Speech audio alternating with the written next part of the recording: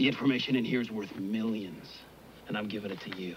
Well, that's very nice. Thank you very much. Now, why don't you make like a tree and get out of here?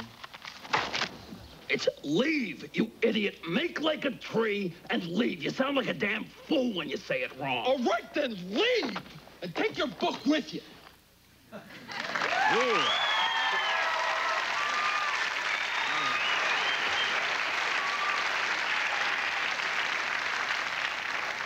It's like an evil Doublemint commercial there. You're playing. You're Yeah. playing yourself as an old man. Absolutely, yeah. Terrific, terrific. It's Back to the Future II. And you're doing working on three now, right? Uh, we just finished three scant days ago. oh, yeah. that's great. Yeah, Oh, it's very working on exciting. four, five, six, seven, eight. Oh, looking forward to it, where I fight Stallone, actually. All right, Tom Wilson. Be right back after this. Thanks, guys. Thanks.